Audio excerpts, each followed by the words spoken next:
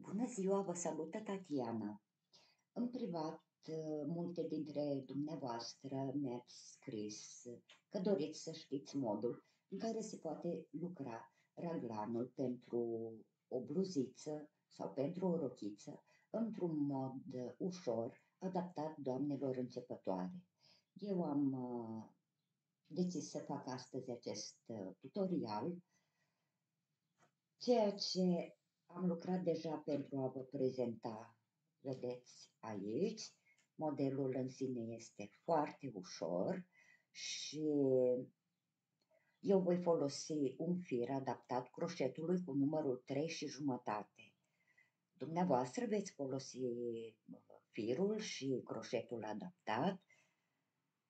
Vom porni la lucru Așa cum vă spuneam, croșetul meu este cu numărul 3 și jumătate. Această culoare care o vedeți dumneavoastră, chiar dacă pare foarte urâtă, foarte palidă, este o culoare violet uh, deschis și vom porni la lucru.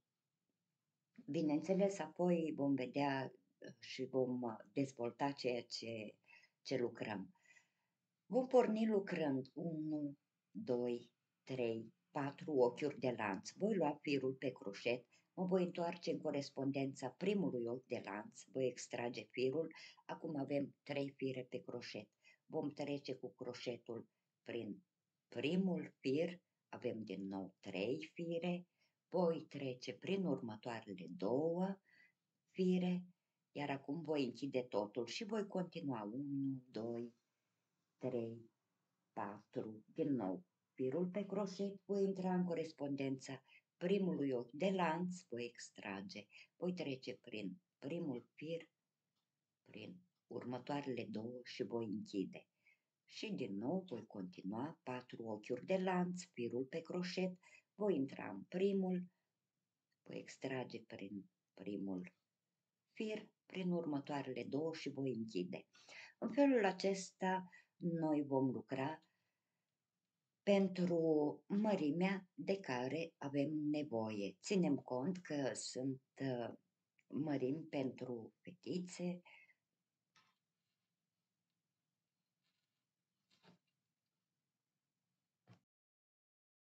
Eu am lucrat un număr de 24 astfel de secvențe. Bineînțeles, pentru uh, diverse măsuri, numărul segmentelor va fi mai uh, multe sau mai puține. În momentul în care am terminat de lucrat aceste 24 de segmente, eu voi lua firul pe croșet și voi intra în corespondența primului segment și voi lucra un picioruș dublu, cel de-al doilea picioruș dublu, cel de-al treilea picioruș dublu, și cel de-al patrulea picioruș dublu. După care voi face două ochiuri de lanț de separare, voi intra în următorul segment și voi repeta cele patru piciorușe duble, 1, 2, 3, 4, două ochiuri de lanț de separare, și vom continua cu piciorușele duble în următorul segment. În felul acesta noi vom lucra pe întreg parcursul rândului, după care ne vom reîntâlni și vom continua lucrarea noastră. Deci, ceea ce am lucrat până acum se prezintă în acest mod. Aici nu am unit, pentru că vom uni în prealabil, veți vedea dumneavoastră de ce. Am ajuns la capătul rândului, lucrând patru piciorușe duble în corespondența fiecărui segment, separate de două ochiuri de lanț. Voi face cele două ochiuri de lanț de separare și voi închide totul în corespondența celui de-al treilea ochi de lanț din primul picioruș. Deci voi închide cu fir alunecat. Cu fir alunecat voi ajunge în spațiul format din cele două ochiuri de lanț.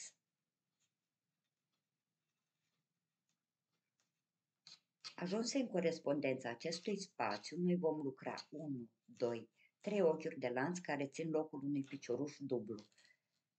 Cel de-al doilea picioruș dublu, cel de-al treilea picioruș dublu, două ochiuri de lanț de separare, urmate de alte trei piciorușe duble în corespondența aceluiași spațiu.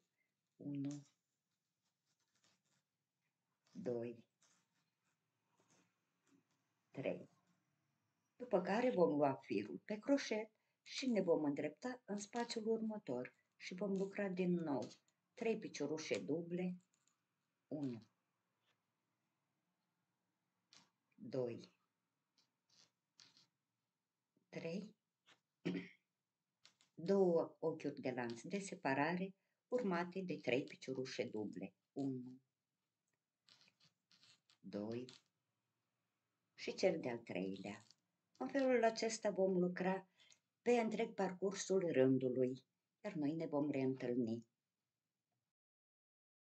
Am ajuns la capătul rândului, acum voi închide rândul cu fir alunecat în corespondența celui de-al treilea ochi de lanț din primul picioruș și din nou cu fir alunecat voi ajunge în spațiul format din cele două ochiuri de lanț. Aici voi repeta din nou trei ochiuri de lanț care țin locul unui picioruș dublu, cel de-al doilea picioruș dublu, cel de-al treilea picioruș dublu, două ochiuri de lanț de separare, urmate de alte trei piciorușe duble în corespondența aceluiași spațiu. Deci, practic, vom repeta același segment, același model. Lucrate acestea voi trece în următorul spațiu format din cele două ochiuri de lanț și voi repeta. Trei piciorușe duble. 1, 2 și cel de-al treilea. Două ochiuri de lanț de separare urmate de trei piciorușe duble în corespondența acelui spațiu. 1, 2 și cel de-al treilea. Deci vom repeta același segment, vom lucra de jur împrejur, iar noi ne vom reîntâlni la sfârșitul acestui rând. Am ajuns și la capătul celui de-al doilea rând. Voi închide cu fir alunecat în corespondența celui de-al treilea ochi de lanț din primul picioruș, iar cu fir alunecat voi ajunge în corespondența celor două ochiuri de lanț. Ajunse aici, eu voi lucra 1, 2, 3, 4 ochiuri de lanț, firul pe croșet, voi intra în corespondența primului ochi de lanț, voi trece prin primul uh, fir, prin următoarele două și voi închide. După care voi repeta din nou patru ochiuri de lanț și voi lucra același segment precum la începutul lucrării noastre. În momentul în care am închis cel de-al doilea segment, Vom închide totul cu piciorul scurt în corespondența spațiului format din ochiurile de lanț. Vedeți? Și voi continua 1, 2, 3, 4. Deci, așa cum vă spuneam, este exact uh, secvența de la început. Am lucrat odată.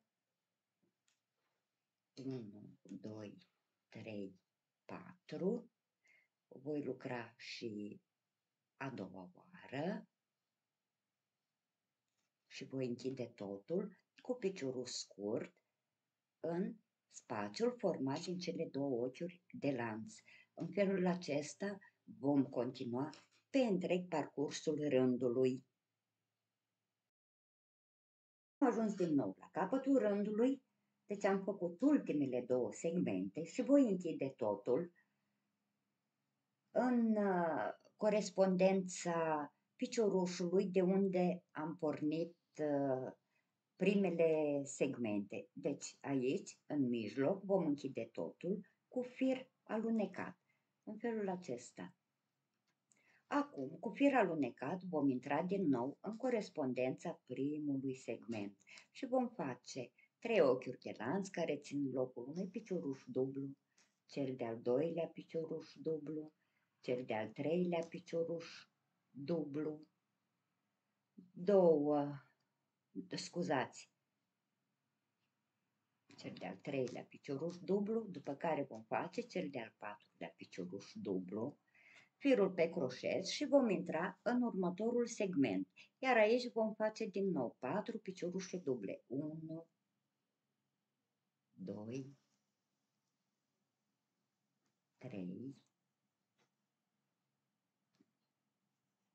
4, un ochi de lanț,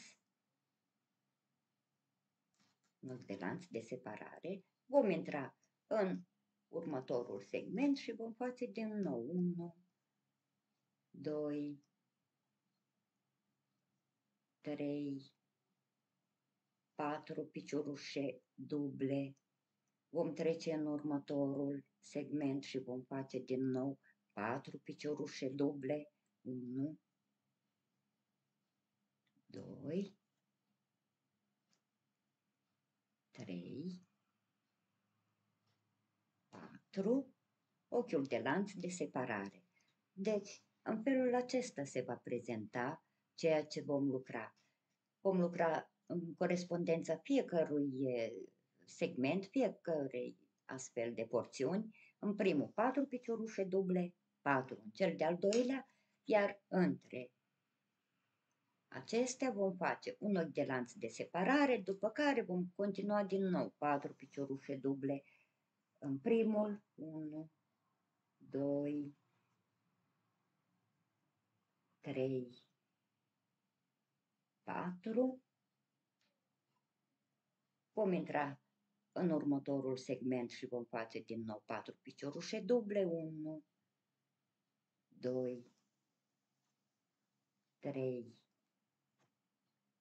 și cel de-al patrulea, ochiul de lanț de separare. În felul acesta noi vom continua de jur împrejur. După ce am făcut și ultimul ochi de lanț de separare, vom închide acest rând în corespondența celui de-al treilea ochi de lanț din primul picioruș. Acum, cu fier alunecat trebuie să ajungem în acest spațiu format din ochiul de lanț. Deci vom face fir alunecat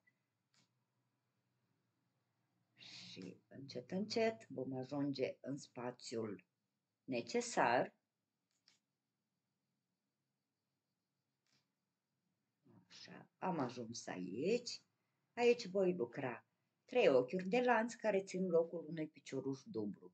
Firul pe croșet voi continua cu cel de-al doilea picioruș dublu, cel de-al treilea picioruș dublu, două ochiuri de lanț de separare, urmate de alte trei piciorușe duble în corespondența aceluiași spațiu. Firul pe croșet și vom trece direct în următorul spațiu format din ochiul de lanț de separare, lucrând din nou trei piciorușe duble,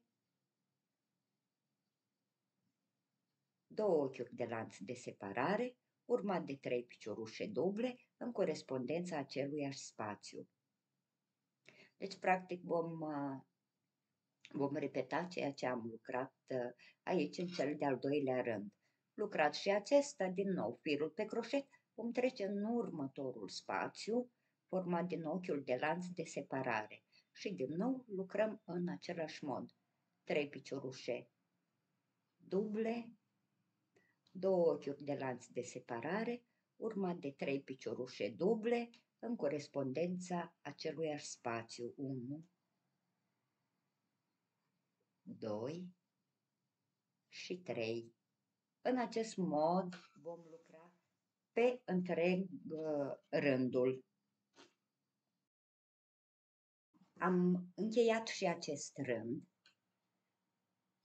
în corespondența celui de-al treilea ochi de lanț din primul picioruș. Acum noi vom delimita mânecuțele și, bineînțeles, apoi partea care va porni în jos, uh, corpicinul. De jur împrejur eu am un total de 24 de astfel de segmente. Deci sunt 24 colțișoare, să le numim să fie pe înțelesul tuturor. Cu fir alunecat voi ajunge în spațiul format din ochiul de lanț al primului colțișor. Aici voi lucra trei ochiuri de lanț care țin locul unui picioruș dublu.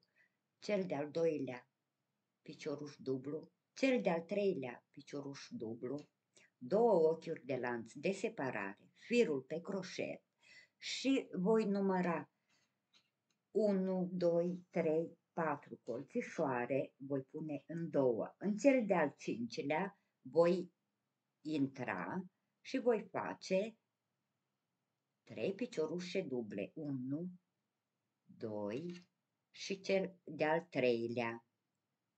În felul acesta am format spațiul pentru prima mânecuță. Așa cum vă spuneam, avem 24 de colțișoare, 6 plus 6, 6 12, care vor fi pentru mânecuță. De acum, în corespondența următoarelor 6 colțișoare, noi vom face același uh, raport, 3 piciorușe duble, 1, 2, 3, două ochiuri de lanț de separare, urmat de 3 piciorușe duble în corespondența aceluiași spațiu, 1, 2 și cel de-al treilea. Deci nu uitați, pentru 6 rapoarte vom lucra în acest mod. Eu deja am trecut în cel de-al doilea, am 3 piciorușe duble, două ochiuri de lanț de separare, 3 piciorușe duble, 1, 2 și cel de-al treilea și voi continua până când voi avea un număr de 6 astfel de colțișoare. Așa cum vă spuneam, am lucrat 6 colțișoare, 1, 2, 3, 4, 5, 6. Voi intra în următorul, deci aici pe mijloc, unde sunt cele două ochiuri de lanț de separare și voi lucra 3 piciorușe duble, 1, 2 și cel de-al treilea, două ochiuri de lanț de separare, voi număra din nou 4 colțișoare, 1, 2, 3, 4, voi intra în corespondența celui de-al cincilea și voi face 3 piciorușe duble. 1, 2 și cel de-al treilea. Astfel am delimitat și cea de-a doua mânecuță. Așa se prezintă ceea ce am lucrat până acum. În continuare, până la sfârșitul rândului, noi vom lucra următoarele șase colțișoare. Vedeți, ne-au ne rămas șase. 1, 2, 3, 4, 5, 6. Și vom lucra în modul în care ați văzut până acum, în corespondența celor două ochiuri de lanț, vom lucra 3 piciorușe duble, 1, 2 și cel de-al treilea, două ochiuri de lanț de separare, urmat de 3 piciorușe duble în corespondența aceluiași spațiu. Deci vom lucra următoarele șase colțișoare în acest mod. Lucrate și următoarele șase colțișoare, vom închide rândul cu fir alunecat în corespondența celui de-al treilea ochi de lanț din primul picioruș. În felul acesta, deci, noi am format partea raglan care ne interesează. Nu uitați că aceasta poate fi uh, lucrată pentru diferite mărimi, diferite măsuri, fie scăzând numărul de rapoarte inițiale, dar întotdeauna trebuie să fie duble, fie înmulțind acest număr, deci în funcție de nevoile dumneavoastră. Acum, cum se continuă? Am închis acest rând, vom merge cu fir alunecat în corespondența celor două ochiuri de lanț, iar aici vom începe să lucrăm rapoartele noastre în mod uh, obișnuit, deci vom face trei piciorușe duble în corespondența acestor două ochiuri de lanț, trei piciorușe duble, două ochiuri de lanț de separare, urmat de alte trei piciorușe duble în corespondența aceluiași spațiu. 1, 2, și 3. Astfel am lucrat spațiul imediat sub mânecuță. În același mod vom lucra și spațiul următor de la mânecuța următoare. Până ajungem acolo, vom lucra în mod normal, în corespondența fiecărui colțișor, raport, raportul nostru de trei piciorușe duble, două ochiuri de lanț de separare, urmat de trei piciorușe duble. De jur împrejur vom avea un total de 14 colțișoare, având 6 în față, 6 în spate, sunt 12, plus cele două de sub mânecuțe, avem 14 rapoarte și vom lucra în jos exact pentru lungimea de care avem nevoie pentru a ajunge în talie.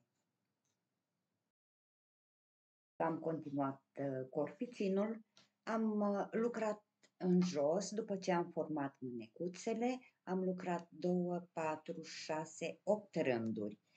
Deci, cam așa se prezintă raglanul și bustul. Acum să vedem câteva măsuri. Ah, avem uh, pentru bust 22 cu 44 cm. Aici, pe mânecă, sunt 8 cm. Lungimea totală sunt 20 de centimetri iar aici la gât, sus, sunt 26, 52 de centimetri. Începând din acest, din acest moment, dumneavoastră puteți decide în ce mod veți continua. Fie realizați o bluziță, fie realizați o rochiță, o rochiță care poate fi lucrată chiar în croșet până în acest punct, iar de aici, partea de jos, se poate uh, face cu, cu material, cu un țesut, uh, în ton cu culoarea care doriți dumneavoastră. Eu cam atât v-am prezentat în această primă parte. Voi continua partea a doua, unde apoi voi vedea în ce mod uh, voi continua acest, această lucrare. Dacă v-a plăcut ceea ce v-am prezentat, vă rog să lăsați un like, un comentariu și eu, ca de obicei, vă doresc o zi minunată și răcuroasă. În primul rând răcuroasă, pentru că aici sunt niște călduri infernale ziua și noaptea. Vă îmbrățișez cu drag pe fiecare dintre dumneavoastră, vă iubesc și ne vom revedea. La revedere, vă salută Tatiana!